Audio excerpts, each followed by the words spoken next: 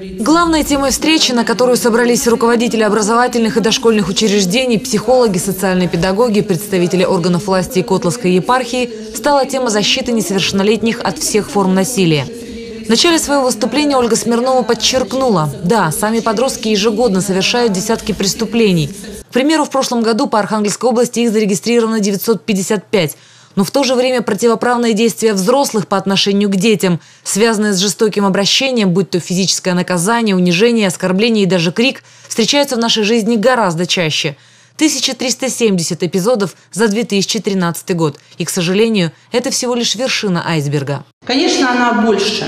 Но мы об этом мало говорим. И то, что мы вот сейчас стали об этом говорить и собираться, и город Котлас я очень благодарна, потому что мы уже второй раз на территории города Котласа проводим вот эти мероприятия, как раз направленные против насилия, против жестокого обращения с ребенком. И каждый раз вот я вижу заинтересованную аудиторию, это очень приятно, потому что совершенно разные профессии здесь находятся, и самое главное, что мы все работаем с вами с детьми. Если верить статистике, за 12 месяцев 2013 года против несовершеннолетних жителей Архангельской области преступлений совершено на 46 меньше, чем за такой же период 2012 -го.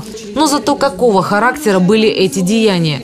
Примеру, сексуальному насилию подверглось 60 малолетних детей, 91 преступление. И ужас в том, что часть из них совершили самые близкие люди – родственники. С такими случаями я в своей практике сталкиваюсь, когда ко мне обращаются Бывают, значит, знакомые, либо родственники, когда, допустим, дедушка в отношении своей внучки совершил преступление, и они, значит, э, просят меня, чтобы я вмешалась, чтобы было наказание соответствующее определено этому, значит, человеку. Понятно, что эти моменты тоже имеют место быть. В финале встречи участники круглого стола подписали резолюцию и договорились продолжать тесное сотрудничество между всеми заинтересованными в этом вопросе сторонами – детским садом, школой, полицией, органами местного самоуправления, священнослужителями.